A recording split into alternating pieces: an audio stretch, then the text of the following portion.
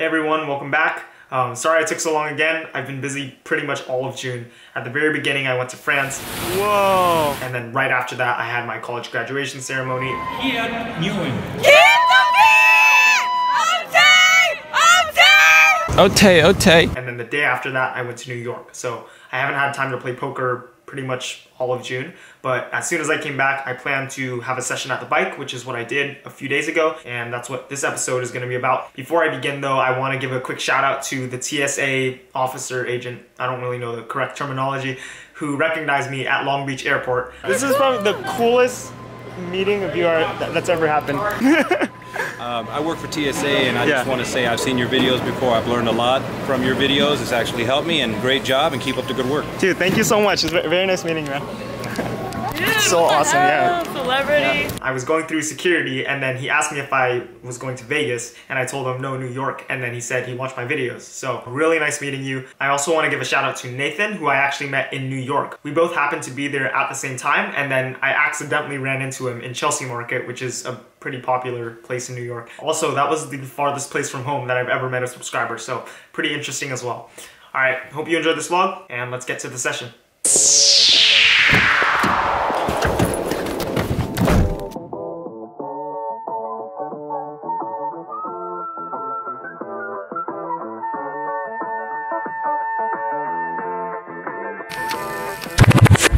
Everyone, we are here again. Just like I said in the last episode, uh, the Bicycle Casino doesn't want me filming here, so I can't get hole card cam footage or any footage inside for that matter. We'll see how it goes. So, wish me luck. gonna leave the camera here because I can't film in there, and hopefully we'll book a win.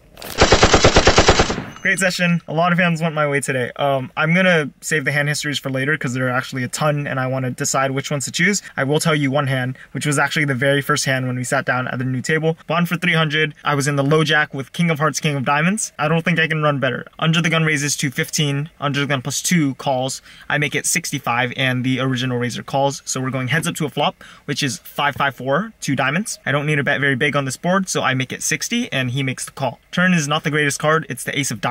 And this time my opponent leads for $60. I don't really know how often I should fold kings here, but I do have the king of diamonds and um, I just decide to shove. Pot's already pretty large and I'm fairly happy to get it in in this situation. Good news is he doesn't snap call, but eventually after thinking for a while, he makes a call. The river is the seven of diamonds, pretty much always gonna have the best hand here. No reason to think he has a full house. And he goes ahead and mucks. So we take down the very first hand of the session for a full buy-in and we're up to 600 at this point.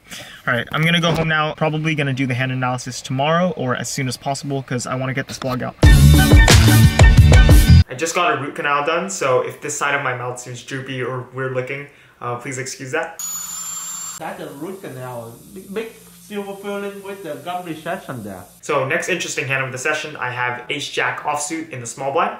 The low jack opens to $10 and action folds to me. I decide to 3-bet this hand to 30. The big blind folds and the low jack actually started the hand with only $40. So he puts in his remaining 10 and I snap call, of course. Uh, gonna be flipping here a lot of the time, and it turns out we are flipping against pocket nines. Unfortunately, the board does not bring any help, so we lose a quick 40 bucks to pocket nines. Next hand, I'm in early position with pocket queens. I open it to $15, and the button makes the call. Flop comes 368 rainbow. I decide to c-bet for $18, and the button calls. Turn is the eight of hearts, completing the rainbow. I actually decide on a check here. I think that most worse hands, if not all worse hands, are probably gonna fold. And if he does happen to have an eight, 9 8, 10 8, 7 8, then don't want to bet into that and get raised. So I think checking is the best option here, and my opponent checks back. River's a pretty safe card. It's a jack of hearts, so we should be ahead pretty much all of the time. I decide to go for some value here and bet $45. Might be able to bet even a little bit bigger here. I think most players at 2-3 play pretty straightforward, and in my position, if they had queens on the turn or any overpair, they're just going to keep betting it. So I think my hand's pretty under-repped, and I think my opponent will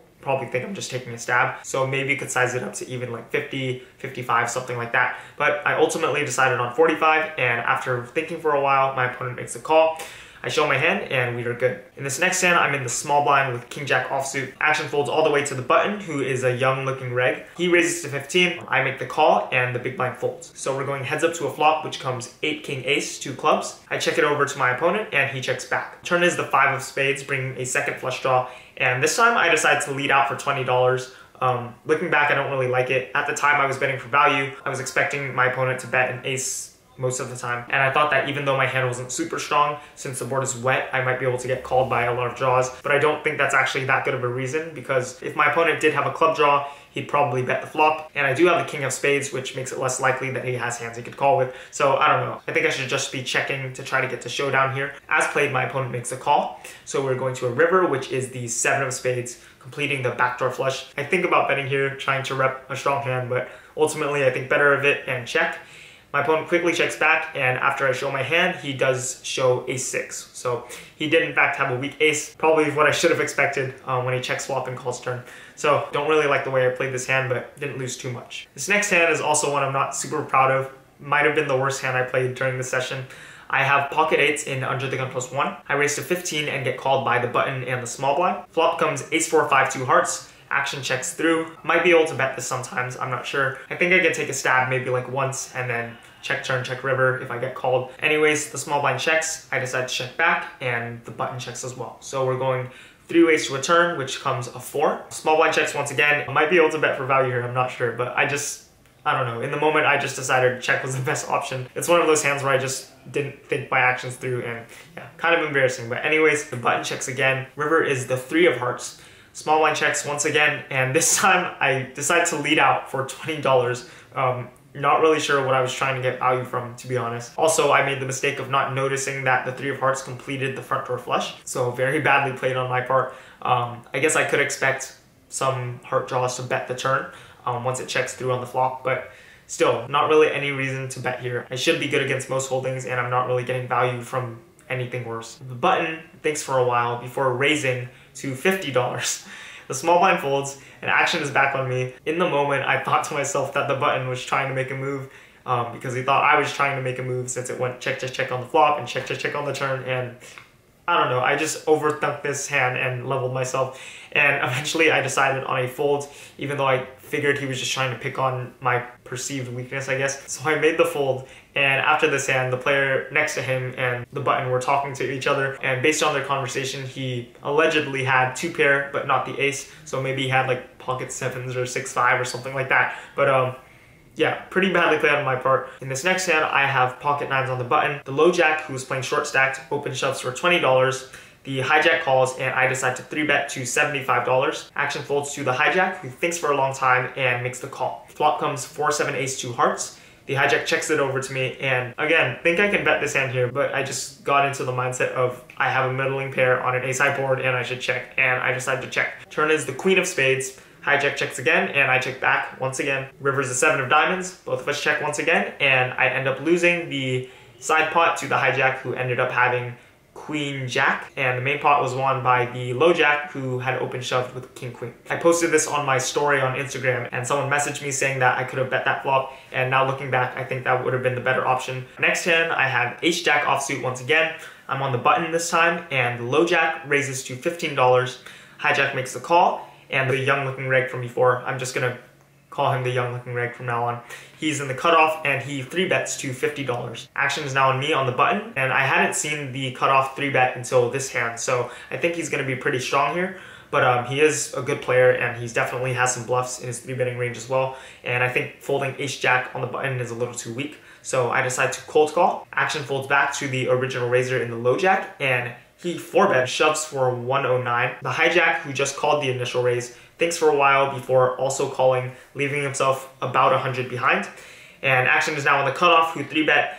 He tanks for a very, very long time and eventually folds. And now Action's back on me, and I'm getting 6 to 1 on a call, but I decided to fold. I think at lower stakes, you just don't see 4-bets too often, and 4-bets are usually very, very strong. So, um, Oh shoot. So I just decided to fold, especially since the hijack called the 4-bet with two players left to act behind.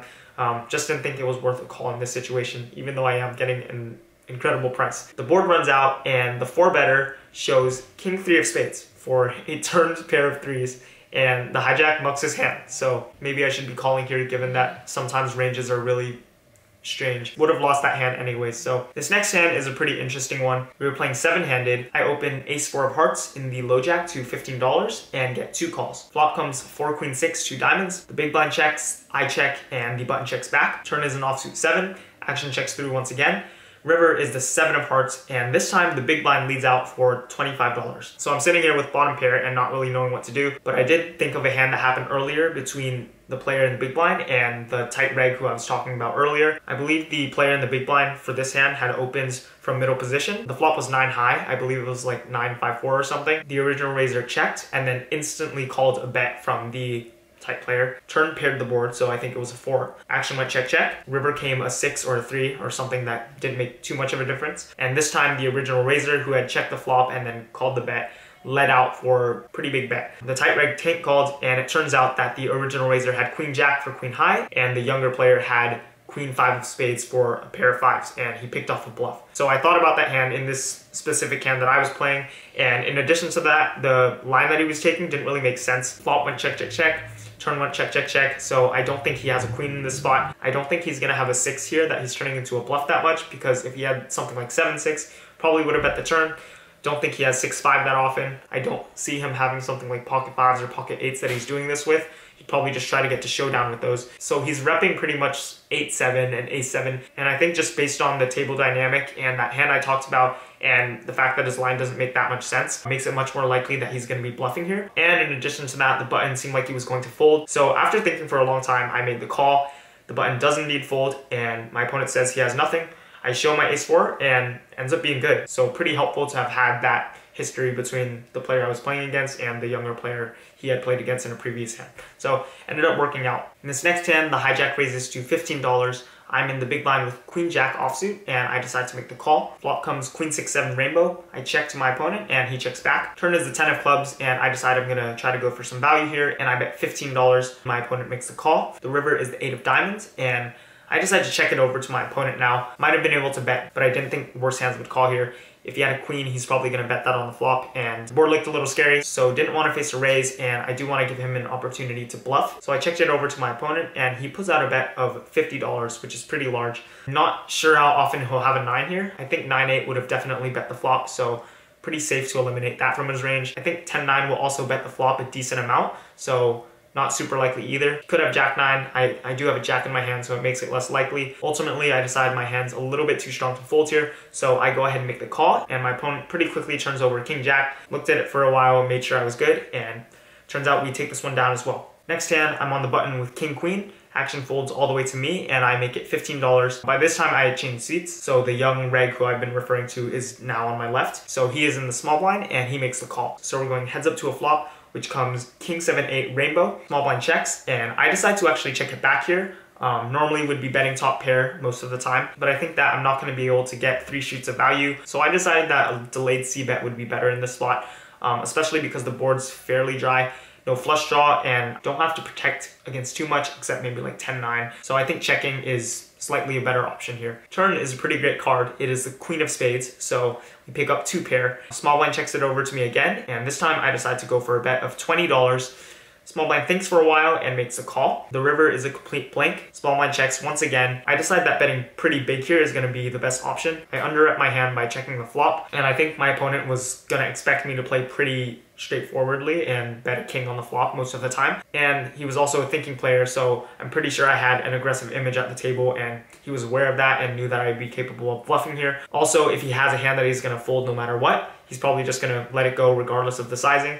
And if he had a hand that he might wanna call with, I think betting big here and making it look like a bluff, especially given the way I'd play the hand, will maybe induce him to go for a hero call. So I ultimately decided on a sizing of $65 into about 70 or so. Probably could have even slightly overbet. And the good news is he does not snap fold.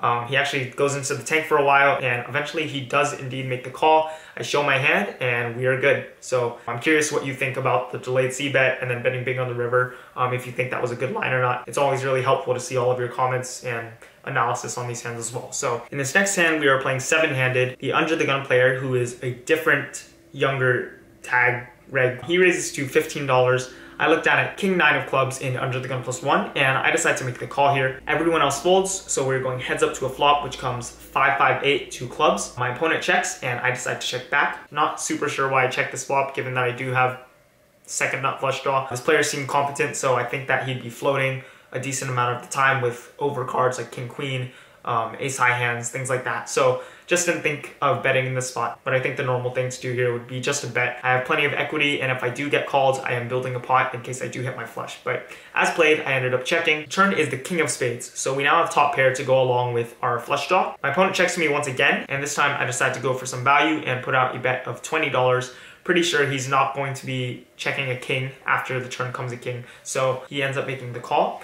The river card is the 10 of diamonds. My opponent checks to me once again, and I wanted to get a little bit more value, so I actually put out a $25 bet. My opponent actually ends up raising me to $65 and getting a great price to call, but I think I kind of leveled myself in this specific hand. Since this player seemed like a good player, personally I think he was the best player at the table. He's probably very aware that I'm trying to get a crying call, and maybe he thinks from my perspective, him raising small would look really strong. I'm not sure. I actually took a very long time before eventually making the call, and um, he turns over 8-7 of spades, so ended up winning this hand. Um, kind of confused myself a bit on the river. In this next hand, we are now playing six-handed. Hand begins with the under the gun slash low jack player raising to 12. The button makes the call, and I'm in the big blind with queen eight suited. I make the call as well, so we're going three ways to a flop, which comes queen deuce six, two spades. I check and both of the other players check back. Still three ways to a turn, which is the 10 of diamonds. Similar to the queen jack hand from before, I decide to go for some value now and I put out a bet of $20 and only the button calls. Heads up to a river, which is the five of hearts. I'm pretty much expecting to have the best hand almost all the time here. My opponent seemed like a straightforward recreational player, probably would have bet the flop if he had a queen after it gets checked to him. So I think he's calling the turn with maybe a 10, maybe a middling pair, maybe a flush draw. So I decided to go for value and bet $45. He seems to want to fold, but eventually makes a call. I turn over my hand and we are good. So take this one down as well. Next hand, we're playing eight-handed. I'm under the gun with king 10 of hearts. I raise it to 15 and get two callers. Flop comes deuce four ace two hearts. I put out a standard c-bet here of $25 and the low jack actually raises me to $65. After the other player folds, I decide to make the call here. I don't think this specific opponent is going to have many bluffs here given how he's been playing, so his range is probably two pair or better, but I am drawing to the second nuts and getting a good price, and my opponent did have about 300 something behind, so I'm not going to go anywhere for this price. Turn brings the 8 of diamonds, which is no help. I check it over to the low jack, and he goes ahead and continues for 115 pretty much done with the hand, so I fold, and my opponent says that he had it and shows us ace deuce of diamonds. So very last hand of the vlog, another one I played pretty badly, so we're ending it off with a badly played hand. I'm in the small blind with king queen, the under the gun player makes it 12, the button calls, and I decide to 3-bet to $50 and get called by the button. Flop comes 3 ace 4, 2 diamonds. Probably should be betting on this board a good chunk of the time, but for some reason I just decided to check. Didn't think I was getting value from worse, but um, looking back, I think the best way to play this hand would be just to bet, bet, bet. Weak aces are probably going to fold eventually, and I have a pretty strong range advantage. So do not like the check on the flop. Turn is the deuce of clubs. It goes check, check again.